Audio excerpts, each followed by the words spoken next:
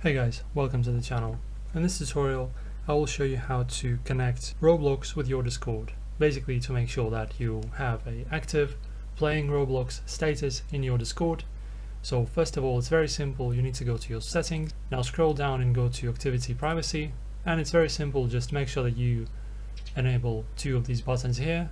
So share your detected activities with others, this will basically make sure that Discord picks up whatever game you're playing it doesn't only work with Roblox but with a lot of other games and also share your activity status by default when joining large servers so just make sure that you enable both of these and basically in the bottom here the next time you launch the game and play it other people in the server or in your friends list will be able to see that you're playing Roblox easily like that. Thank you guys for watching, if this helped you subscribe and I will see you in the next video.